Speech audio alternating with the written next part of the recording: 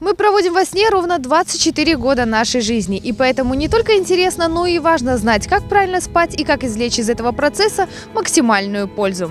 Сон необходим ежедневно, но люди обращают на количество сна, но не на качество. Сну посвящена целая наука, которая называется сомнологией. В случае недосыпа человек постоянно чувствует дискомфорт, который впоследствии отображается на здоровье каждого из нас. По этому случаю в Институте фтизиопульмонологии имени Кирилла Драгонюка была организована первая конференция, посвященная патологиям нездорового сна. Este un debut a somnologie în Republica Moldova. Данная конференция, посвященная сомнологии, является дебютной у нас в стране и раскрывает всевозможные патологии у пациентов с дисфункцией сна. Важно помнить, что здоровый сон обеспечивает каждого человека хорошим самочувствием. Основные симптомы хронического недосыпа – это постоянные головные боли и замедление мыслительных процессов. Также нарушение сна может привести к заболеваниям сердечно-сосудистой и эндокринной систем, ожирению, снижению иммунитета, раздражительности и снижению памяти, боли в мышцах, судорогам и тремору.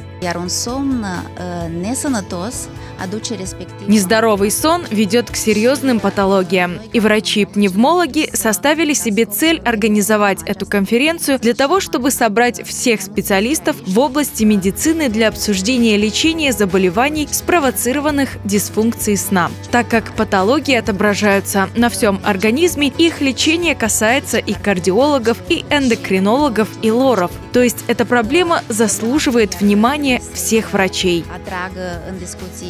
mulți specialiști. В некоторых случаях систематический недосып вызывает храп и даже влияет на гормональную систему. У храпящих людей практически отсутствует глубокая фаза сна, а ведь именно в это время вырабатываются гормоны, отвечающие за правильный жировой обмен. Нехватка этих гормонов приводит к тому, что человек начинает полнеть, причем ни диеты, ни лекарства не помогают ему вернуться в прежнюю форму. У нас э, традиционно пациенты игнорируют проблемы с своим здоровьем, в частности храпу никто не уделяет э, особого э, значения.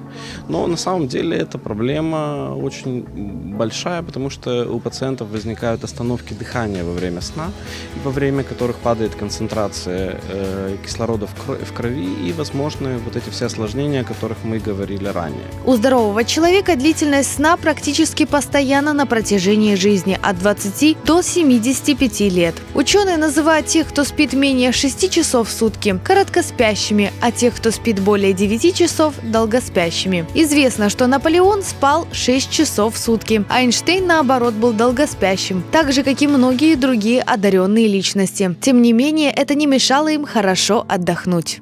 Здоровому человеку необходимо ровно 7,5 часов ежедневно для полноценного сна. Поэтому стоит заботиться о своем сне, так как именно он является ключом нашего здоровья, молодости и красоты.